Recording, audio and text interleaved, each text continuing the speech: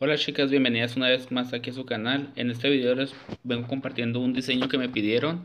Ahí como pudieron ver les mostré lo que vienen siendo tres, tres acrílicos. Y ahí vamos a empezar la aplicación. Este es un color turquesa, porque el diseño que me pidieron fue turquesa con dorado. Y este lo vamos a aplicar en toda la punta hasta el número 6. Ahí hay que fijarnos bien en las anclas de tensión y en los laterales, porque ahí es muy probable que nos queden huequitos o que no lleguemos a formar bien las anclas, a rellenarlas bien y ahí es el momento en que se nos pueden quebrar las uñas.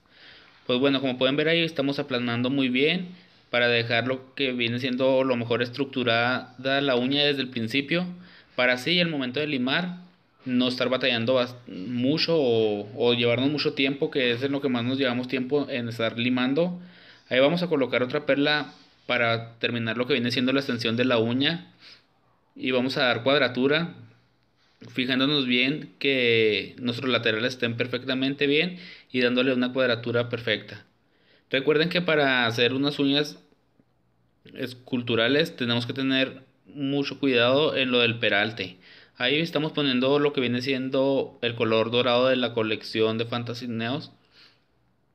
Y este, ese nomás solamente le vamos a hacer esa rayita de en medio para darle un poco de luz o de brillo al diseño. Y posteriormente vamos a empezar a encapsular. Vamos a poner la primera como pudieron ver en área de peralte, llevándola hacia las anclas de tensión y barriendo hacia punta. De igual manera la vamos a hacer hacia el otro lado y barriéndolo hacia punta. Vamos a agarrar otra perlita y la vamos a poner en área de cutícula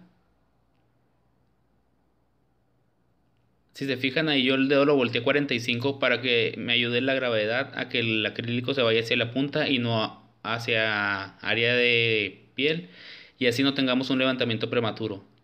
Hay que sellar bien, la, bien el acrílico con la punta del pincel y barrerlo o difuminarlo hacia punta. Vamos a colocar otra perla un poquito más abajo de la, del área de peralte y esa es la última perla que vamos a colocar.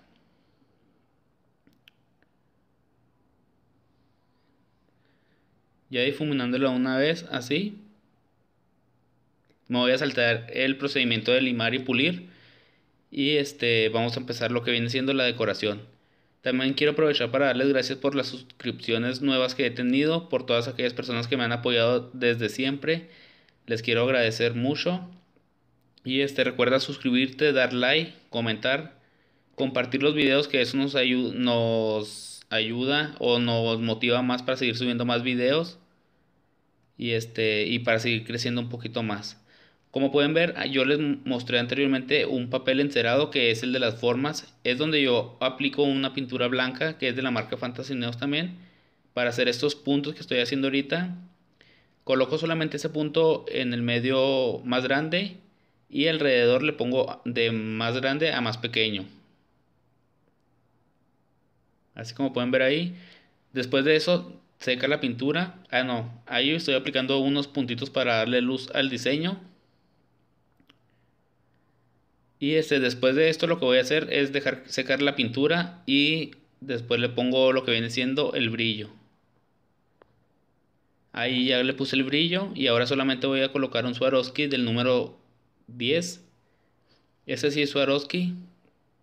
Y voy a usar lo que viene siendo algunos balines en color turquesa también. Espero este diseño te les agrade y a ti especial amiga, tú que me lo pediste. En este momento no me acuerdo del canal, pero sé que me lo pidieron, me lo pidió una chica y pues aquí está. Entonces ahí como pueden ver estoy teniendo poquito de dificultad para poder acomodar esos balines, pero ahí por fin ya lo logré. Después ahí ya les muestro lo que viene siendo el resultado. Solamente agregué tres piedritas más del número 5, que también son Swarovskis puse el brillo y eso fue todo lo del diseño. Espero les haya gustado este diseño.